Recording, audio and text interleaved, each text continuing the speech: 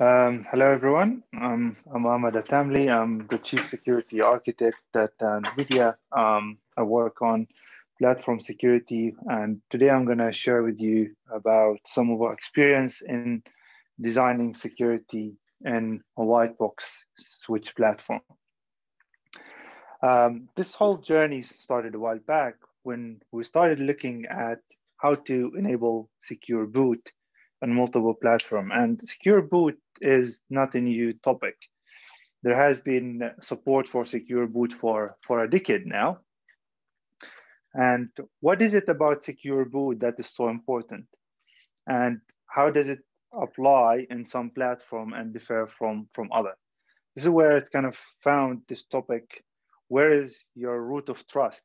Because we tend to put a lot of emphasis on where is your root of trust and where does it start from? But we really don't consider the other factor that you know might hinder the root of trust and untrustworthy.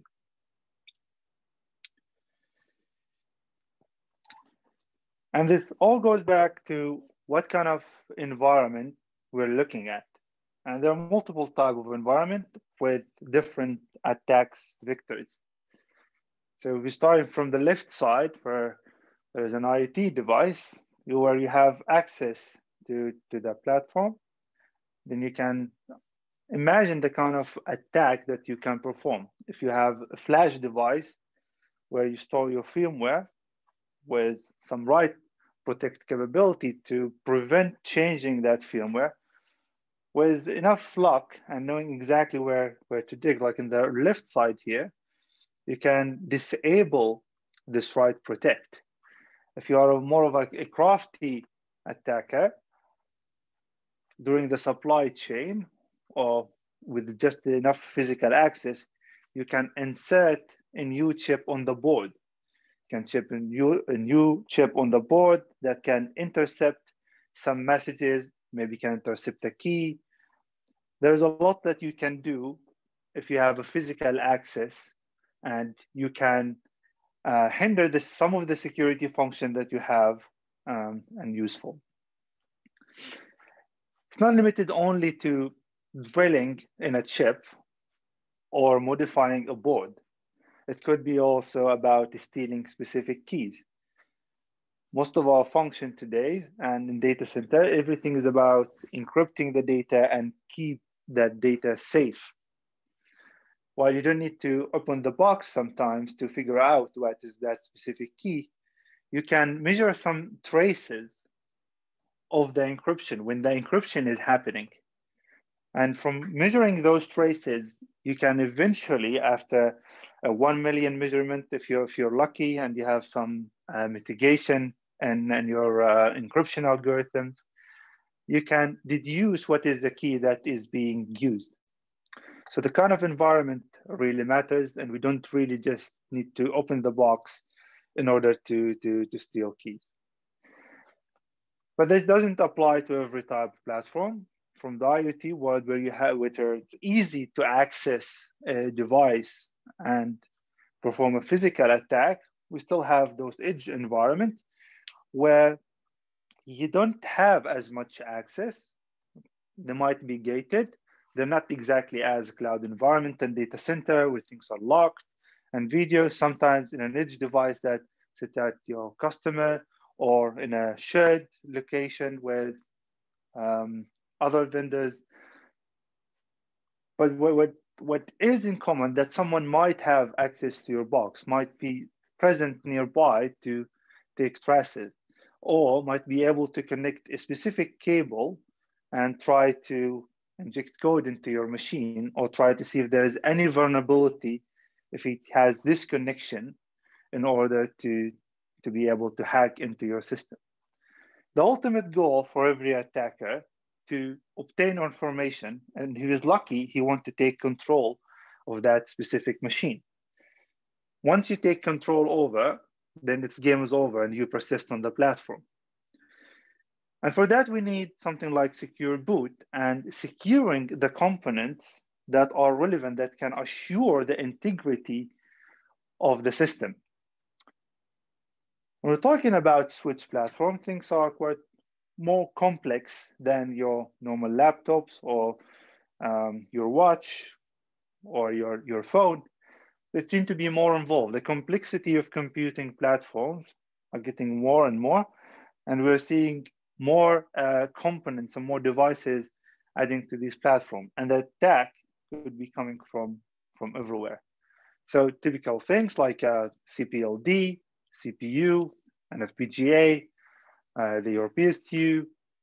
And of course, the easiest thing is where we want to use a JTAG to connect to try to program all these countless um, SPI devices where we store the firmware and store the con configuration. My point here that the attack vector is quite large here. And so far, we've been focusing only on the CPU and making sure that the root of trust is in the CPU. That means we need to load an authentic firmware. The BIOS need to be signed, and that will eventually guarantee that we are loading um, a trusted and measured operating system. But this is not quite true. And we're looking at it from a system designer point of view. What he sees um, is some boards connected on it. There is a CPU, there is a TPM, a CPLD that need to manage the resets, clocks, and so on. There will be a switch. There will be all the SSDs. There are all sort of connection that need to connect to each other to manage the temperatures, uh, voltage, uh, fans, allow programmability of the platform. System designer would try to make it also easy for, for the production. That means an easy way to go and program all those devices. So in, in case something goes wrong, there will be an easy way to, to, to recover it. If there is a problem with the platform, you will want an easy way to go about debugging it. So how do I provide accessing access to debug each one of these components, whether it's the BIOS, whether a flash device that is failing, whether the CPLD. This is the mind that goes inside and a system designer. I want to guarantee that there is an update, fail safe, so the system is all the time up and running. I want to make sure um, I can have an option and to recover that platform. But in fact, things are quite more complex. And for a system security architect, the view is quite different. Where a system designer to see two SPI flashes as an option for a fail-safe and an option for another one to, to recover, another, another soft uh, system security architect sees this as a point to attack. So each one of those flashes might hold some data that eventually can end up in compromising the system. So an attack can be easily timed if you know how to switch between the two SPI flashes. If you don't have a write protector in SPI, then you might be able to inject code. The CPLD, if it's compromised, then it might even time your attack in a way that you load some code and some data from one flash device. And then after the authentication, and you know that whatever content is good, might switch to another. My point is here, we can't really assume that other component in the system will play ball and act as they should. Because an attack in each one of those eventually can end up harming the system. Now, depend what is the functionality that you're trying to, to achieve here. So if we're talking about the integrity of that system, I want to make sure that I'm loading the right firmware, the right operating system, and that eventually it behaves as I expect it to behave. But from security point of view, there are more feature you might want to support. You want to make sure that an update is successful. You want to make sure that if your platform need recovery, it does recover the right firmware and it doesn't roll back to, to an older firmware. The question, how do we achieve that? How do we achieve that those specific corners, when they happen, we can load the right component and everything play as it should. And the answer to this doesn't um, involve the CPU only. It also involves components like CPLD, and it involves the TPM that it's up and running at the same time. It makes sure that the TPM is storing the measurement and is not resetted. If I want to support a mechanism like attestation, then I need to make sure the CPLD does not reset my TPM middleware and allow a new component to go and measure and load a new measurement inside the TPM. It doesn't end there. Depending what is a feature that you want to do uh, to achieve and what is the kind of uh, integrity you want to, to get inside the CPU. There has been a tag that's been showing on the last decade that if you change the voltage, then your TPM, some, some TPM will start acting out and start splitting data and function in a way that they will leak data. Some processor that support trusted execution environment, when the voltage changes and was pushed to the limit, they also the same thing, start malfunctioning and started giving uh, wrong results and started leaking data that can eventually lead to understanding what is the key that is being used and compromise the integrity of of that platform. So what do we do? The other thing that we need to support on White Switch platform is basically a root of trust. We still need that CPU, but we need also to be flexible. There are many different operating systems out there, and we need to give the choice for for the user to come and install his operating system. While the hardware manufacturer need to still be able to make sure that the right BIOS that is coming from him is actually running on that uh, specific platform and the integrity of the firmware and the software that layers that he provide are in place.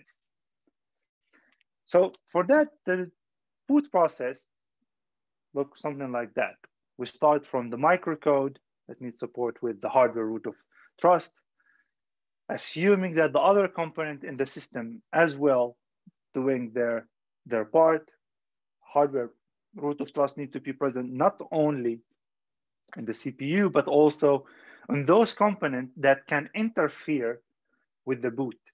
That means my CPLD need to be trusted as well so I can trust it to perform some of the functions that are necessary to the boot. Once I started booting, I need to allow the option to insert a new keys. So the user can come and insert his key and can decide and take ownership of that specific platform. So in that sense, the hardware manufacturer would claim the ownership of the first four components. And then the user that bringing his NOS can install it on from the fourth level where can he embed his keys, remove the key that he doesn't want to use and take ownership of that platform. This kind of model allow flexibility for the user to bring his own key and run only the relevant NOS on that specific platform. Things that we need to look at when securing um, computing platform and switch in particular has been there and the recommendation is to use BIOS protection guideline but that's mostly limited to, to, to the CPU. We still need to consider all those specifications regarding platform firmware resiliency, uh, looking at uh, the right cryptographic models with the right uh, certification. So using FIPS 140-3, which is coming in you now with level two, making sure we are using the right cryptographic models because one change and in an algorithm might deem it unreliable. Trusted platform module because that's what would allow us eventually to attest the software of the platform. And UEFI would allow would give us the flexibility to give the option to the user to load different operating system. This is good, but we still need to consider other things like other devices on the platform and make sure those components also trustworthy and function as they should. This is the only way we can um, assure the integrity of that specific platform. So for this, I want to finish my talk today and call for specific action. Security is vague in many places, and some people might argue that some specific platform does not require the same level of security, and not every device need to be um, secured, or every component need to have secure boot in place. Eventually, those things are determined by risk assessment of what can happen if this specific component on the platform is compromised.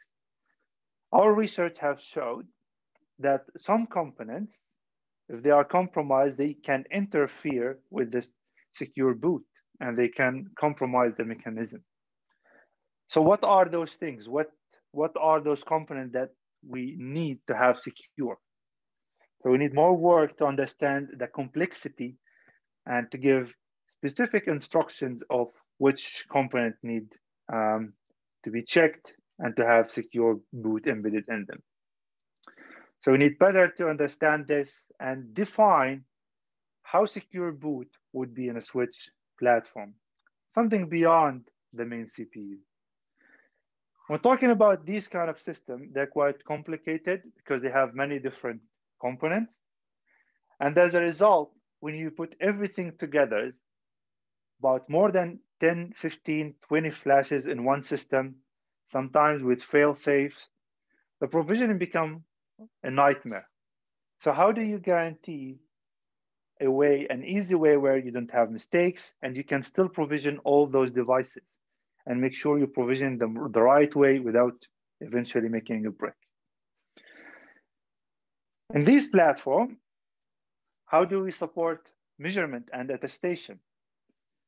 They have too many components. Do we include something like the firmware of the PSU?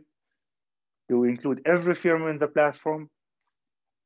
And how do we deal with the fact that increase the cost of designing such secure system?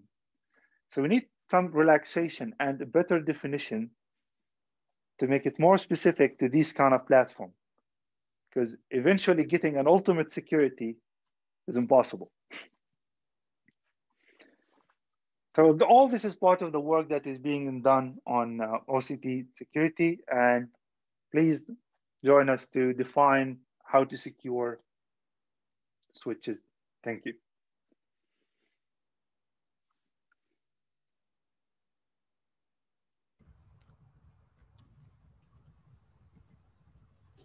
Thanks, Ahmad. Questions? I'm watching the chat as well, in case there are questions. None yet.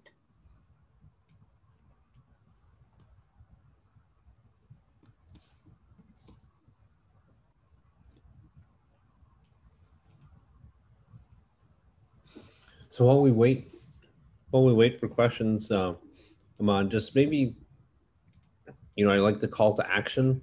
Um, was wondering if there was anything you had um, suggestions to you know specific not specific vendors not calling out companies but you know but like different types of vendors you know whether the system vendors or the chip vendors or the firmware teams or the nos vendors like what are there specific efforts or that are that you could say would would match to different members of the of the community here? Um because I, I, saw the different phases and the different parts you were calling out, but to, to sort of say, hey, these are we'd love to see these companies come together and work on this and um, these types of companies, you know, at this component level, work on this. Yeah, I think uh, I think my call you could group it into those uh, providers of the components on the Switch platform.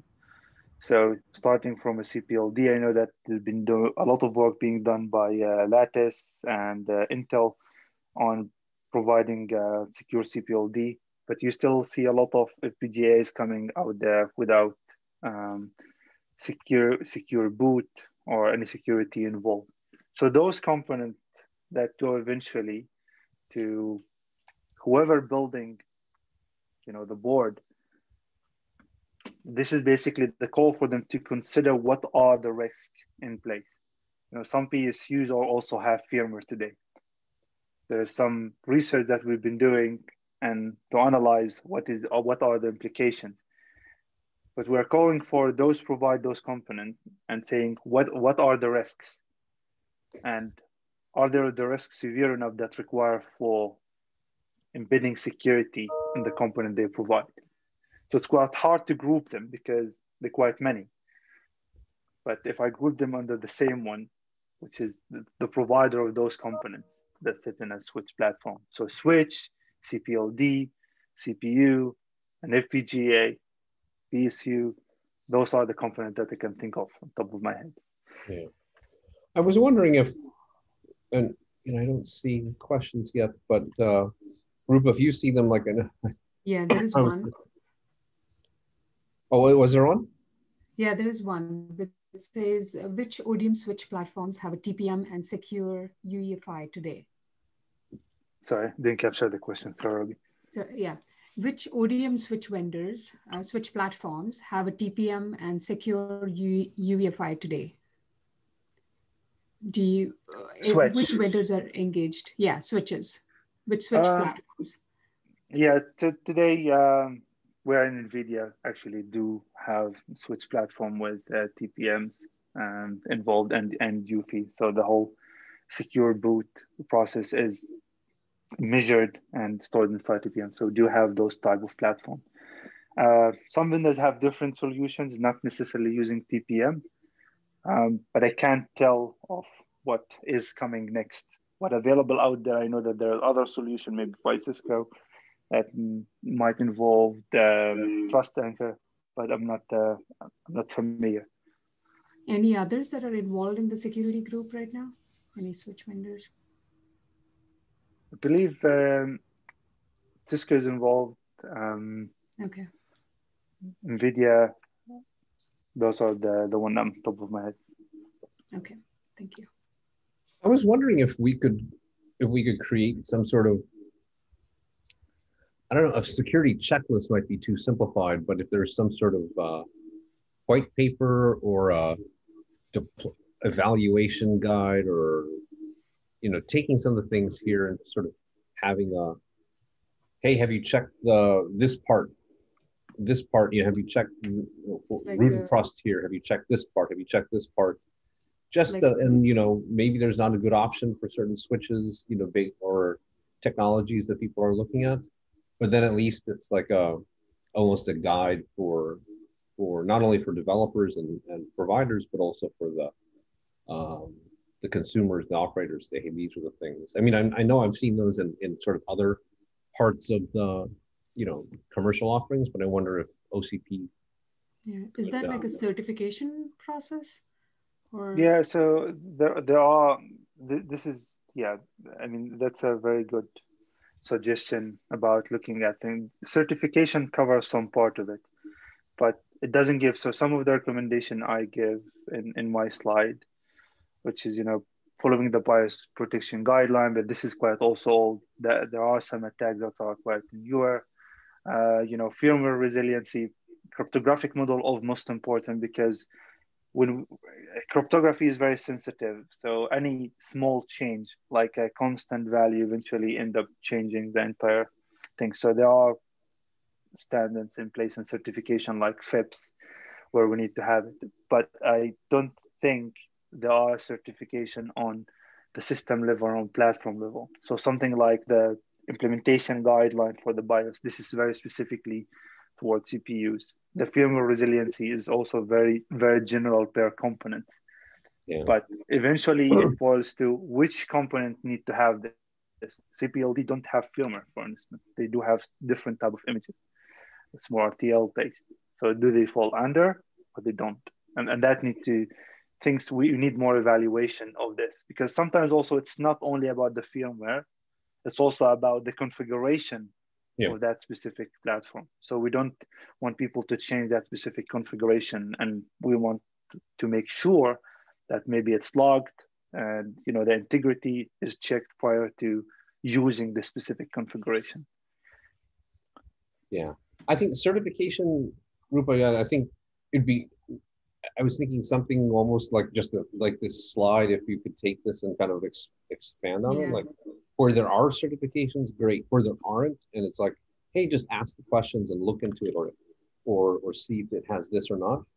Um, so then that way people start asking their, you know, uh, consumers start asking their vendors uh, about it, and, again, certification is sort of like the the most strong. Uh, yeah, but just sort of covering the space. Maybe it's something we can follow up on might be an interesting thing to an artifact that we could perhaps share or, or develop uh, within the group. Yeah.